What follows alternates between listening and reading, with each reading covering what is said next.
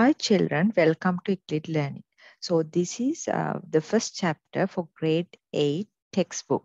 So if you haven't watched my previous videos, uh, there's a, a separate uh, playlist for the grade 8 textbook. And this is the starting video for the grade 8 workbook, right? So if you haven't watched the lesson, please uh, pause this video, go to that uh, lesson one of grade 8 and watch that and try these exercises yourself and then come back and see right? Please don't copy the answers directly from the video and write because that is not going to add any value for you right? Okay we'll start. Uh, the chapter one number systems. So i have done the lesson separately. So this is only the workbook right? So activity 1.1 so here you have to fill in the blanks with the words given in the word list. So there are some uh, words given here, right? It's very easy because this is the word list, right? So there are five answers and five blanks, right? In the exam, you won't get like that. Even for your term test, sometimes you will get more answers and uh, less blanks like that. So you have to pick the most correct ones, right? So we'll see here. The A, a number system using 10 symbols is a decimal number system, right? We learned about this in our textbook. Next one, the base for 1001, 10 is. So the base is this one, right? So this is actually telling number of symbols in a number system, right? So here it is 10. So the base is 10. A number system using, there's a blank, symbols in a blank, number system. So there are so many answers possible, but uh, because we have two and decimal here, you can tell a number system using two symbols is a binary number system. Same thing like this also you can tell. A number system using 10 symbols is a decimal number system. So when you are in higher grades, you will learn octal, hexadecimal, those kind of number systems also. But uh, the most uh, appropriate answer here is 2 and decimal, uh, 2 and binary. Okay. Next one, the number of symbols in a number system is its base. I have explained it earlier also. Yeah. Activity 1.2, expand the decimal numbers given below, right? I will show the answers. First one is 528, base is 10. This is a number in the decimal number system, right? So you can see the base is 10, right? So you have to go with the place values of 10 related to the 10, right? You know, the weighting factors we are using is 10 to the power 0, 10 to the power 1, 10 to the power 2, right? This is the decimal number system. So the weighting factors will be 10 to the powers, right? Always it starts with uh, some, if the base is, uh, built-in base is 2, then 2 to the power 0, uh, 2 to the power 1, 2 to the power 2, like that number system. So the weighting factor is 10 to the powers, right? 10 to the power 0, 10 to the power 1, 10 to the power 2, right? So uh, these values, that now this is 528. That means 5 into 10 to the power 2.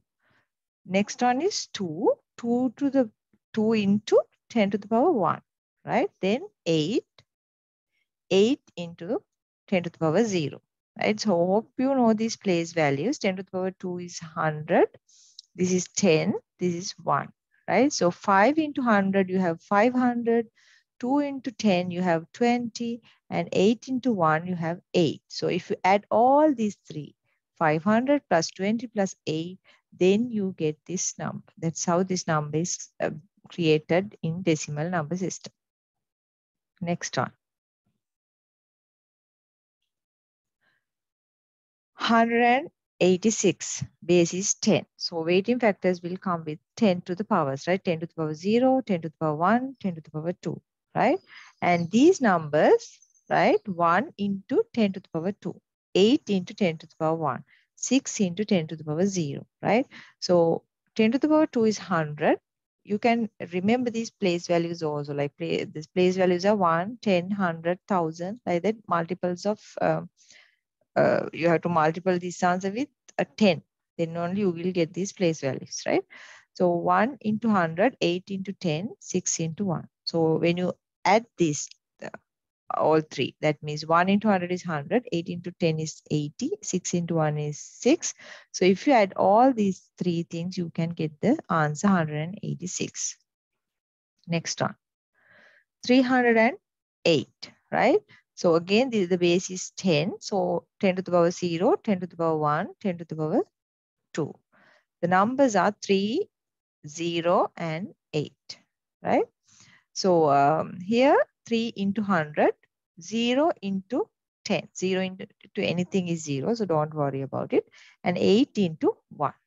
Hope you know any number, the if the uh, it is 0 power eh, for any number 2 to the 2, 2 in 2 to the power like 2 to the power 0 5 5 to the power 0 10 to the power 0 anything its answer is 1 right?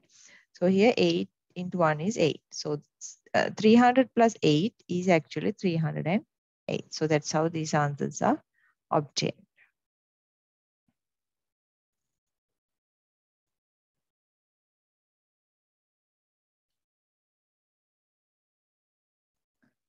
Okay, activity 1.3, right? You have to convert these numbers to the, uh, these are decimal numbers. You have to convert them to the binary numbers, right? We'll see the workings. So hope you remember if you have decimal numbers, how to convert it to binary. What you have to do is you have to start dividing each of these numbers by 2 right? For example, 28 you divide by 2, right? Your quotient is 1, 4, 14. What is the remainder? This is an even number, so no remainders. Remainder is 0. You continue to divide like that. Divide again this by 2, 7, no remainder. 7 you divide by 2, 3, there is a 1 remainder because 7 is an odd number. You have 1 remainder. 3 you again divide by 2, you have 1 remained is 1.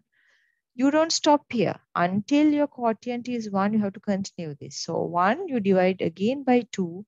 There's You cannot divide it. So 0 and your remainder is 1. So you have to uh, continue until you get 0 here. And after that, you have to write the remainders bottom to top. 1, 1, 1, 0, 0. Right?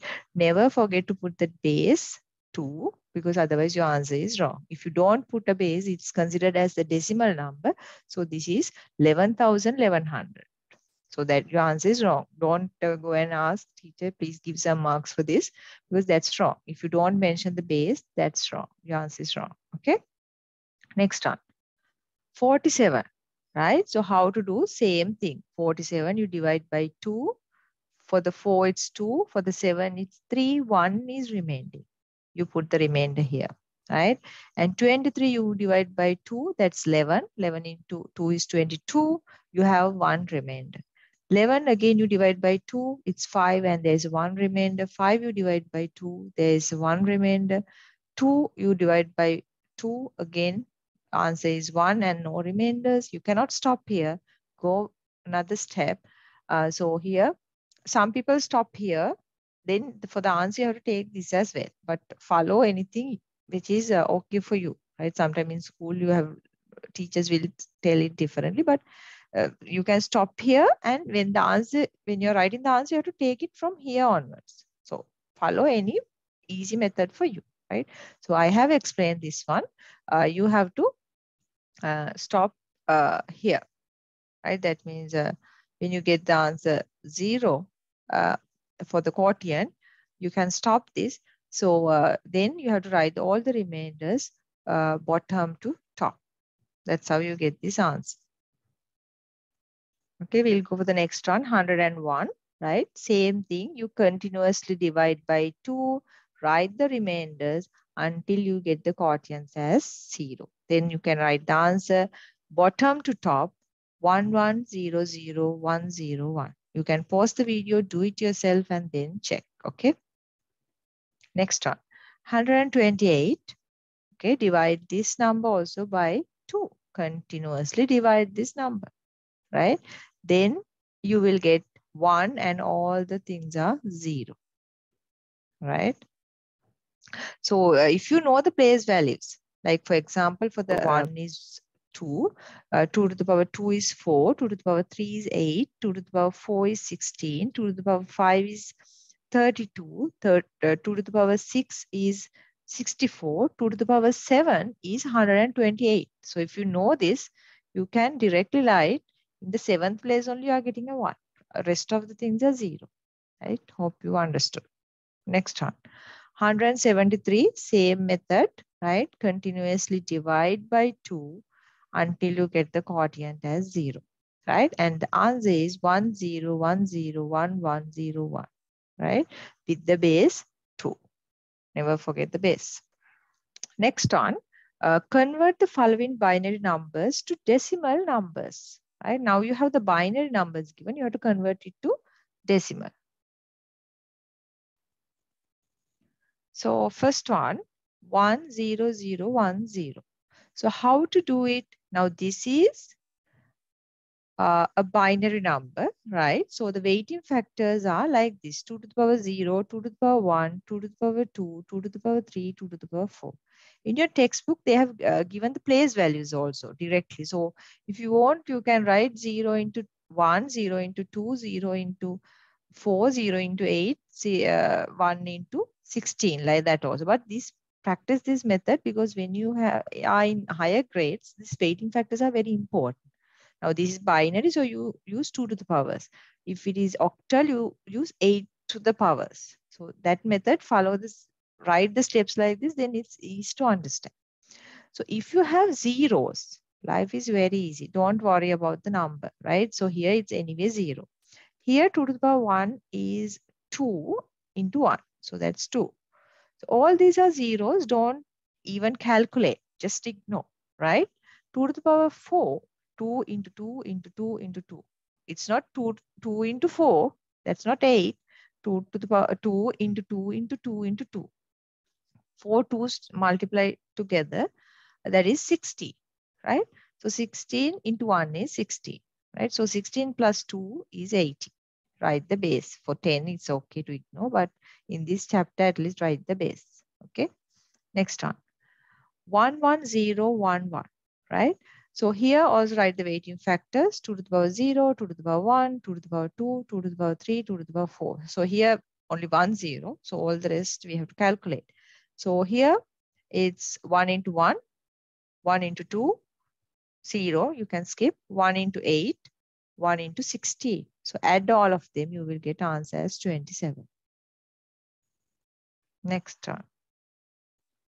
1011011, right? Again, write the weighting factors 2 to the power 0, 2 to the power 1, 2 to the power 2, 2 to the power 3, 2 to the power 4, 2 to the power 5, 2 to the power 6 with the uh, relevant number 1, 1, 0, 1, 1, 0, 1, 1, right?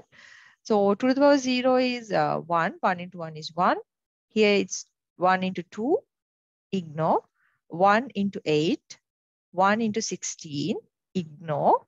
Never calculate 2 to the power 5.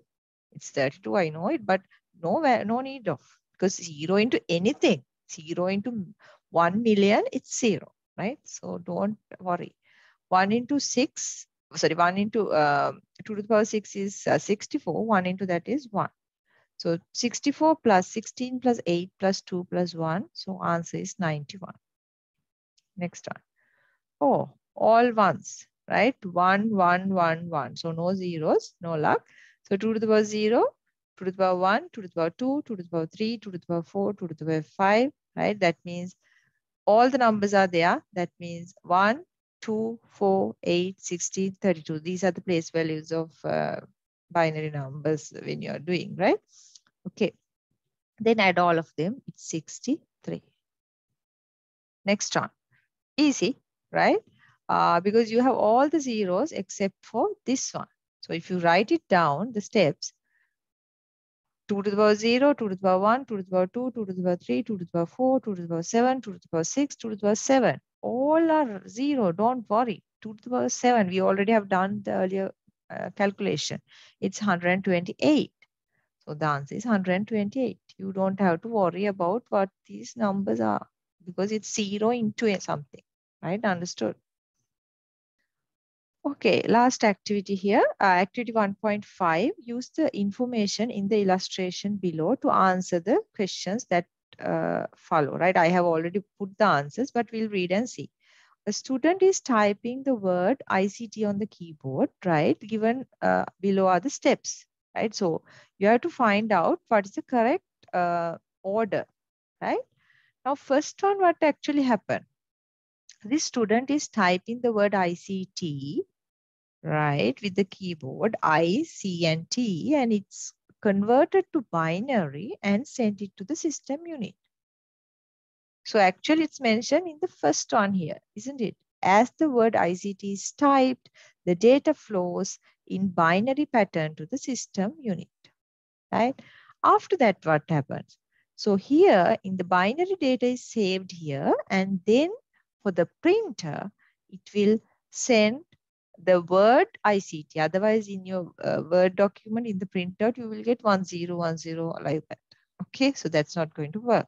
So that is why here it's number two, the binary data saved in the computer memory flows. There's a conversion happen to decimal, and then only it will be sending uh, with the uh, ICT, right?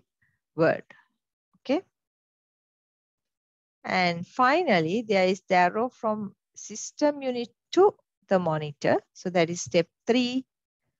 The binary data saved in the computer memory flows to the monitor and shows the word ICT on the screen. There is a conversion happen. Okay. So that is the end of the chapter one, right? Uh, so if you haven't still subscribed my channel, please do subscribe and uh, bear, press the bell notification as well. So please uh, share these videos among your friends and please do comment. If you have questions, if you don't know some uh, conversions, um, I can help. So please uh, do comment, right? Thank you very much.